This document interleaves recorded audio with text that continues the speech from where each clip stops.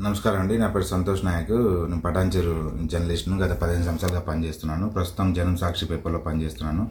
ఇక్కడ అమీన్పూర్ మండలంలో ఐలాపూర్ గ్రామము ప్రభుత్వ స్థలాల్లో కానీ ఇల్లులు కట్టుకుంటున్నారు. వాళ్ళు ఇల్లు నిర్మాణ దశలో ఉన్నా కానీ దశలో ఉన్నా కానీ వాటికి ఇంటి నెంబర్లు మంజూరు చేశారని నాకు తెలియడంతో రెండు వందల పైగా గత పది పదిహేను రోజుల కింద రెండు వందల పైగా ఇంటి నెంబర్లు మంజూరు చేశారని నాకు తెలి తెలిసి రావడంతో నేను వెళ్ళి ఒక నిర్మాణ దశలో ఉన్న ఒక బిల్డింగ్ ఒక ఒక ఒక షెడ్ది ఒక ఫోటో తీసుకొని నేను ఆ గ్రామ కార్యదర్శి అయిన సచిన్కి వివరణ అడగడం జరిగింది. ఆయన చెప్తా అని డీటెయిల్స్ ఇస్తా డేటా ఇస్తా అని చెప్పారు. మళ్ళీ సాయంత్రం ఐదు గంటలకు నాలుగైదు సార్లు ఫోన్ చేసి మీరు గ్రామ పంచాయతీ ఆఫీస్కి రండి నేను వివరణ ఇస్తా. లేకపోతే మీకు డేటా ఇస్తా అని చెప్పేసి నన్ను ఐదారు సార్లు ఫోన్ చేశారు. నేను దగ్గరలో ఉన్నా కాబట్టి నేను సరే ప- మండల గ్రామ పంచాయతీ ఆఫీసే కానీ అని చెప్పి నేను అక్కడికి వెళ్ళడం జరిగింది. కానీ వాళ్ళందరూ వాంటెడ్లీ అక్కడ గ్రామస్తులు ఆయన గ్రామ పెద్ద అయిన కానీ ముఖ్యము అడ్వకేట్ ముఖ్యము వాళ్ళ తమ్ముడు అజీము గ్రామస్తుడైన స్వామి మిగతా వాళ్ళ ఒక సిక్కులలో ఒక ఒక ఐదారుగురు రౌడీలు వాళ్ళ వీళ్ళ అనుచరులు ఒక పది మంది నన్ను పంచాయత్ ఆఫీస్కి చేరు చేరుకోగానే అక్కడే కాపు కాసి నేను జస్ట్ చేరుకోగానే నా నా మీద అటాక్ చేశారు. నా నా నా వెహికల్ని ఆపేసి నా కారు తాళం గుంజుకొని ఫోన్ గుంజుకొని నన్ను నాపై దాడి చేశారు. అక్కడ నాపై ఘోరంగా దాడి చేశారు.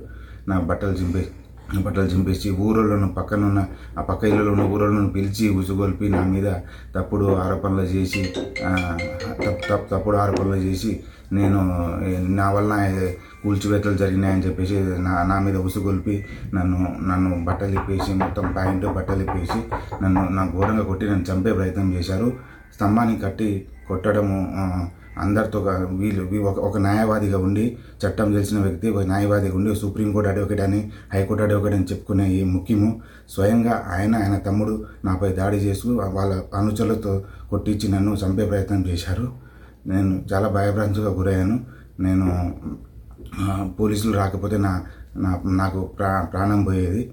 అంత ఘోరంగా జరిగింది. అది అసలు ఒక ఒక చట్టం తెలిసిన ఒక అడ్వకేటు ఏ విధంగా చట్టాన్ని ఇతని చేతిలో తీసుకొని నా నా నా వల్ల నేను తప్పు ఉంటే మీరు పోలీస్ స్టేషన్ కానీ పోలీసుల ద్వారా ఇది చేసేది ఉండే. నేను ఎవరికి ఇది చేయలేదు బ్లాక్మెయిల్ చేయలేదు. అనవసరంగా నా మీద ప- పదిహేను రోజుల కింద ఇరవై రోజుల కింద హైడ్రా కూల్చివేసింది మా మా మా నా వల్లే అని చెప్పేసి నా మీద మనసులో పెట్టుకొని నా మీద నన్ను నన్ను చంపే ప్రయత్నం చేశారు. ఈ ఈ అడ్వకేటు ముఖ్యంని చట్టం చేసిన అడ్వకేట్ ముఖ్యంని బార్ అసోసియేషన్ హైకోర్టు కానీ సుప్రీంకోర్టు బార్ అసోసియేషన్ నుంచి తొలగించాలని ఆయన ఆయన తీవ్ర చర్యలు తీసుకోవాలని నేను మనవి చేసుకుంటున్నాను. నాకైతే ప్రాణహాని ఉంది వాళ్ళ వాళ్ళ వలన. మీరు దయచేసి పోలీస్ వారు దీనికి పోలీస్ వారు కానీ మన మీడియా సోదరులు కానీ అందరూ మా గిరిజన గిరిజన సంఘాలు సంఘాలు కానీ అందరూ నన్ను నన్ను అర్థం చేసుకొని నన్ను సపోర్ట్గా ఉంటారని చెప్పేసి మనవి చేసుకుంటున్నాను.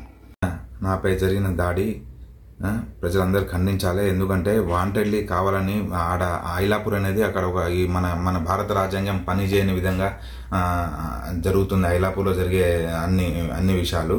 అక్కడ ఏంటంటే అక్కడ ఎట్లా అంటే వీళ్ళకు నా మీద దాడి జరిగిన దాడి చేయడానికి ముఖ్యంగా దాడి చేసి వీడియో చిత్రీకరించడానికి కారణము అక్కడ ఇక్కడ స్థానికంగా ఉన్న లోకల్ విలేకరులకు కానీ స్థానికంగా మండల రెవెన్యూ అధికారులకు కానీ మున్సిపల్ అధికారులకు కానీ లేకపోతే హైడ్రాక్ కానీ ఐలాపూర్ జోలికి వస్తే ఈ ఇంత ఘోరంగా ఉంటుందని చెప్పేసి వాంటెడ్లీ కావాలని నన్ను నా- నా నాపై దాడి చేసి నన్ను హింసించి నన్ను చంపే ప్రయత్నం చేసి వీడియో వీడియోలు అంటే మీరు అర్థం చేసుకోండి.